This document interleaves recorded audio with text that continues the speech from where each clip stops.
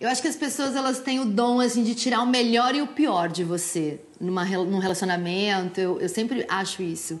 E o Emílio me tira, tira de mim o melhor que eu tenho, assim, até o que eu não sabia que eu tinha, assim. Ele, ele me transforma todos os dias com o olhar dele para as coisas. Ele é extremamente amoroso, é um parceiraço e é o meu melhor amigo, assim. Ele é o meu melhor amigo definitivamente, assim. Então ele ele me faz enxergar as coisas de uma maneira mais bonita, de ter mais calma, de apreciar coisas, de me colocar para pintar, por exemplo, uma coisa que eu nunca fiz na vida, que eu acho que é bem travado em mim, assim, é um lugar onde ele me coloca ali, me deixa para eu me divertir. E porque eu acho assim que hoje em dia, né, é tão difícil você querer estar com alguém, sabe?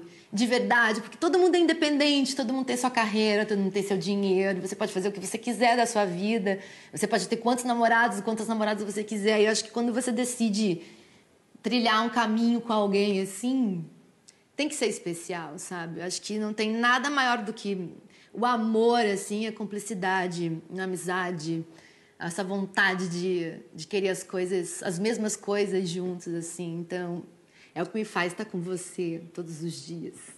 Eu te amo muito, muito, muito, muito, muito. E um, sou muito feliz de ter você na minha vida, muito. É, porra. É um amor mesmo, cara. Um, é um achadaço, assim. Eu acho que é, a gente tem pensamentos e visões e um, humor também que é, não é nem parecido, é que se completa. Porque ela sabe, de manhã eu sou o cão chupando manga. Entendeu? De noite, graças a Deus, ela dorme. Meu amor, um beijo.